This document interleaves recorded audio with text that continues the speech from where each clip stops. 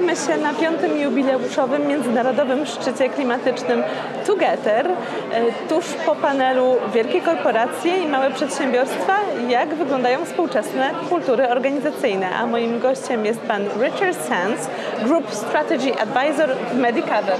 Welcome. Thank you. Uh, Richard, one question about the importance of corporate mission for and how they are aligned with the business mission of every company. So, um, in this uh, time when it's so difficult to find uh, and attract employees, having a corporate mission which the employees believe in and want to be part of is vital. And uh, for Medicover, there isn't really a distinction between our business mission and our corporate mission because we're a healthcare company which is about providing people with better access to care. That exactly aligns with one of the United Nations Sustainable Development Goals to um, um, um arrange health and well-being for all.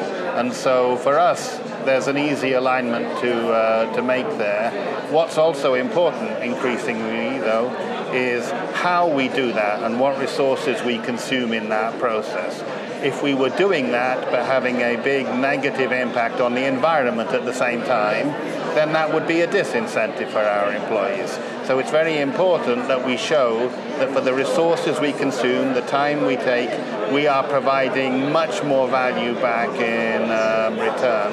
And um, there is an organization called the Upright Project, which surveys companies and how they do that.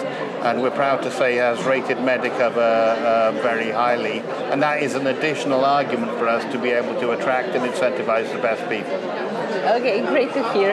And what about the future of technology and uh, what will be the role of technology and AI in providing medical services?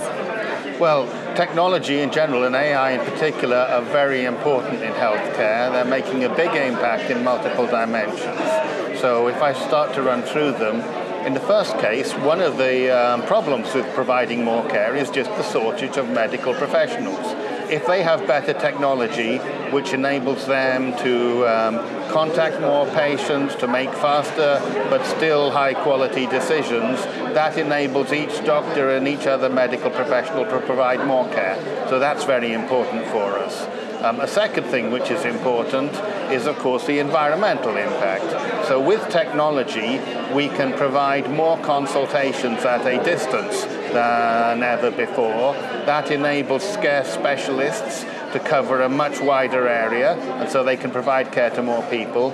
It also means less travel time, both for our staff and for our patients. Less travel means less energy consumed and so a lower environmental impact. It also means we need to have less physical clinic space, and that in turn means less heating, less air conditioning. And so the technology is not only enabling us to provide better care and each of our doctors to provide um, care to more people, it's also helping us to do that in a greener way.